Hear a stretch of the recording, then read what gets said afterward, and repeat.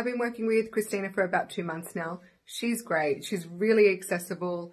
Um, she's really on the ball with what works in Kajabi and what doesn't. We're not salespeople, we're education people, and we needed someone to go in, particularly 2020, and just make sure everything was working as it should and all our funnels were set up properly and our sales pages were all set out correctly. She's been really good. So she's been able to guide us and say what we need to fix next, what we need to look at next, what needs to be tweaked, what should be left as is.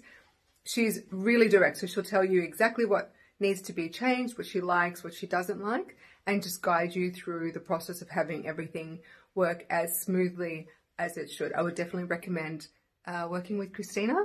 She's lovely and she will do her best to make sure everything that you have is working at its optimum level.